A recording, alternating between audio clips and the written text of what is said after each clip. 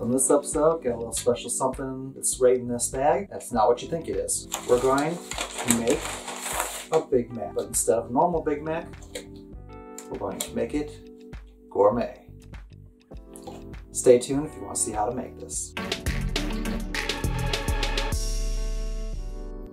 Okay, so we're going to take the Big Mac and we're going to upgrade. First, we need to talk about what the Big Mac is. Obviously, it's a hamburger from McDonald's, and we all know the jingle. I don't know the jingle, but it's, uh, what is it? As close as I can. Two all beef patties, special sauce, onions, lettuce, cheese, um, on a sesame seed bun. So we're gonna take all those ingredients, we're gonna work through them and kind of upgrade them as much as we can, but I wanna stick within the same vein of the ingredient and within roughly the same proportion size, because we're just trying to keep what is a Big Mac, but make a nicer version of the Big Mac, or higher quality, whatever.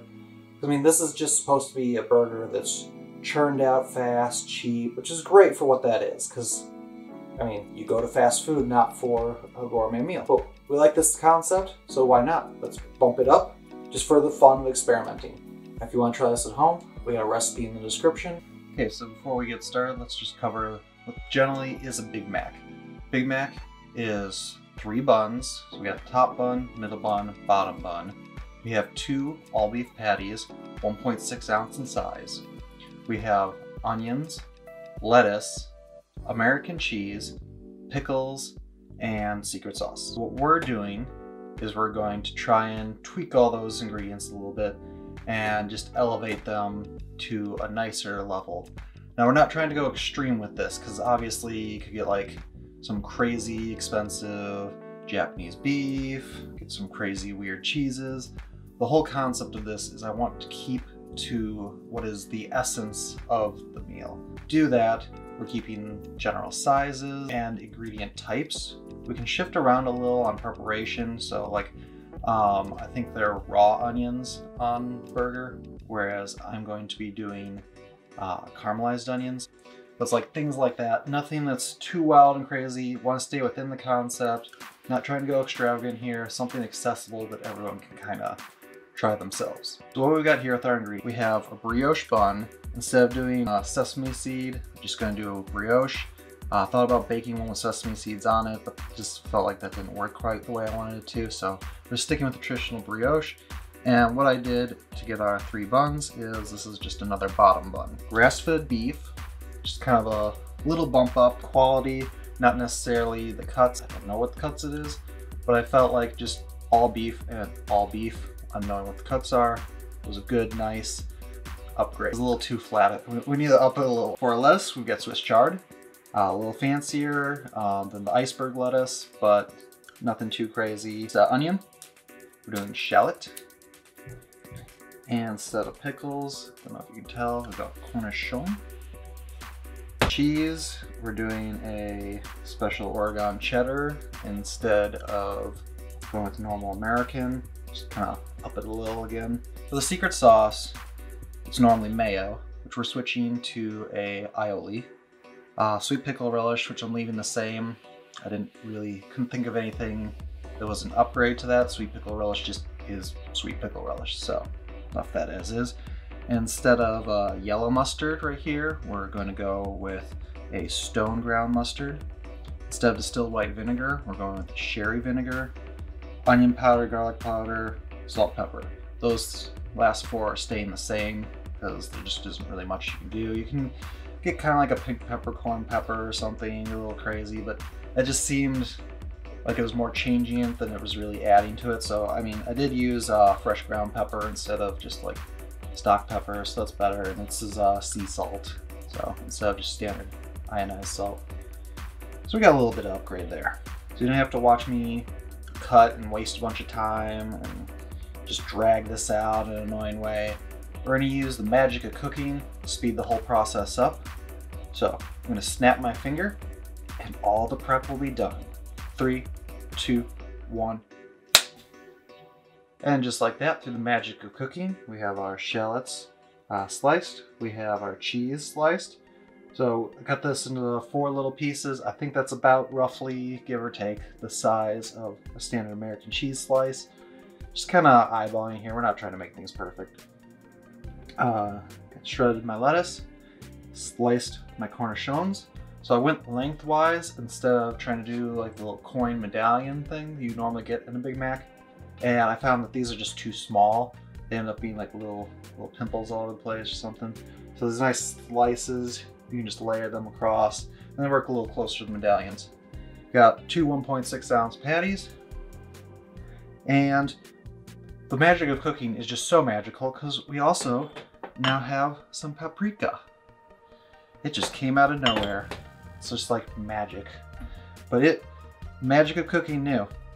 You need paprika for your special sauce. So instead of being just uh, traditional paprika, we went with a little nicer Hungarian paprika. First thing we're gonna do is get the special sauce together. So we're gonna just mix these all up.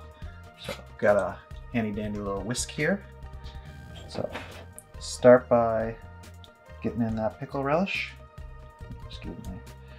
Okay, whoop, don't slide off the bottom. And then we got our mustard. We're just dumping this all in. Here is our sherry vinegar. Garlic powder. Onion powder. Paprika. And our salt and pepper to taste. And so we're just gonna whisk that all together. Gotta get it blended. Oh, nice. So just gotta, you start to see a nice little color change. It's all being cohesive. We're not going for perfect here, just just mixed up enough that we can be like, yeah, that's that's a sauce. And I would say, yeah, that's a sauce. Okay, next on our to-do list is we're going to shape the patties. So right now I put them into basically balls. It's ground beef. They don't. It never gets perfect. Using wax paper. No need for fancy burger presses. And a cast iron pan. I mean, really, any pan or flat object will do. I'm just using cast iron because I'm about to use that for the onions. So we're gonna put down some wax paper. And we'll put a patty right here. Put wax paper on top. Stop curling. Take our heavy object and kind of rock it around a little. We're just trying to smash this nice and thin as possible. Oh, so this feels like about where it's gonna go. Remember, it's probably gonna be a little bigger on the side right now. That's fine, because it's going to end up, uh, what do you call it? It's gonna end up shrinking as we cook it. And I could make like a smash burger, but I didn't think McDonald's probably uses a smash burger style. I could be wrong. So, I'm just gonna smash it beforehand. Just of get it right in there, nice and flat. These are some real thin burgers. oh, wow, got this one really big flat. and, again, it's gonna pull it. Probably over to this guy. Oh, I don't know why. I don't know if I can get this up. Okay, good enough. So there's our two patties. Next up, we're gonna start cooking. We're gonna get our surfaces preheated. So we're going to be caramelizing the shallots. We're gonna get a nice, soft, buttery, kind of jammy character out of them. And of course, we're gonna be cooking our patties. Let's flip over to the cooking station back there and get started.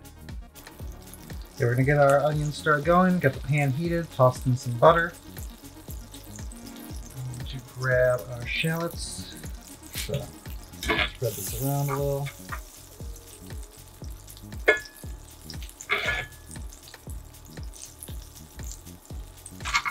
So right now I'm cooking on a induction cooktop.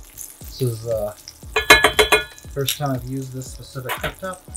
Excited to try it out. So just gonna scrape our onions or shallots.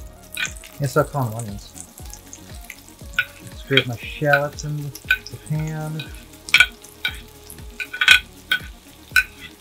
Get them all in there. Yep, yep, okay, fine. I'm just gonna finish that up. I've never used this before, so I might have my temperature off, but they said that this was a good temp for jams and jellies. So I'm gonna get my onions on the jammier side, so dog the shallots. Place to start. I'm just gonna try that enough, but definitely don't want them to burn or brown too much. Just a little color change. Just some light caramelization. I think that's gonna be real nice in this type of burger. So we're gonna mix in a little seasoning, a little fresh ground salt, and some pepper. Just a little. Just enough to add some character to it. Not so much that we're dominating. Light seasoning. Starting to smell real good. Okay, you can see that they're starting to change color a little. You got a little brown added into that purple. Okay, I'd say those are probably about good. You can see there's some browning in there. I don't know how easy it is to see on camera, but they're getting a little more translucent. Okay, so we've had our griddle preheating. Got throw on a little butter. Just kind of grease it up a little. Got a little slickness. Got lubricate. There. Bit salt.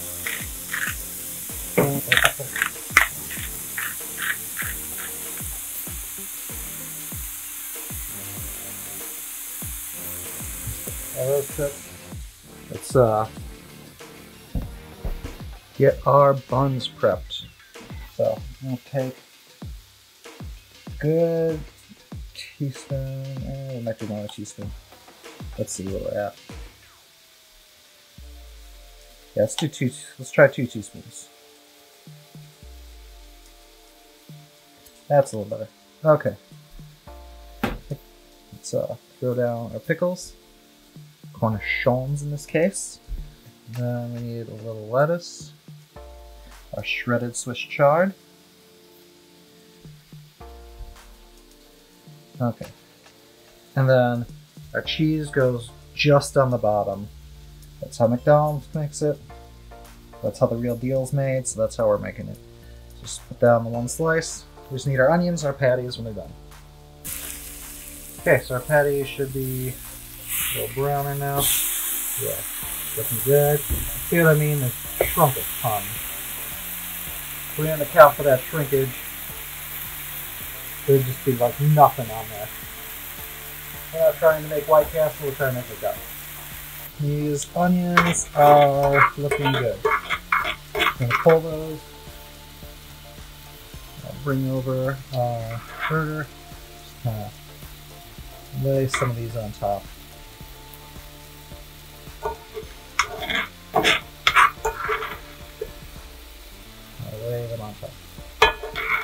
I don't know the exact amount of onions and everything that ends up on the burger. I just know the patties, so that's what I'm rolling with. Look like they're about done, so stick that on the bottom.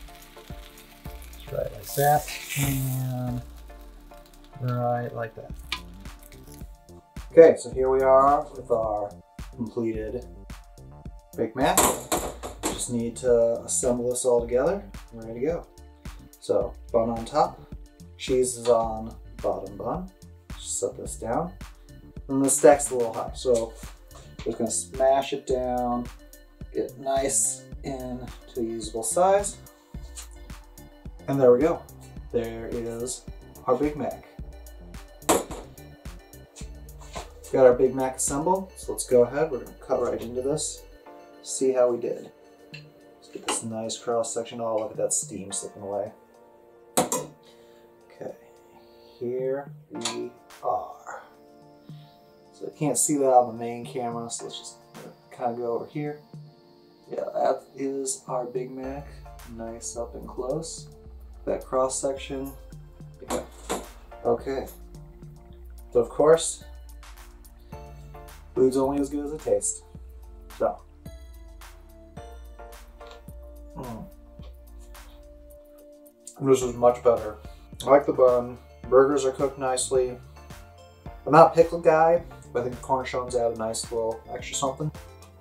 Or onions, get some sweetness from the shallots. Lettuce feels like it's just there for filler, but I feel like that's what it is in a real Big Mac. Don't really get much cheese, but when we tasted the real Big Mac, I didn't get much cheese either, so got both the buns right there. Overall, really happy with how this came out. I'm gonna get to eating this Big Mac. But before that, if you like this video and something you're into, hit that like button.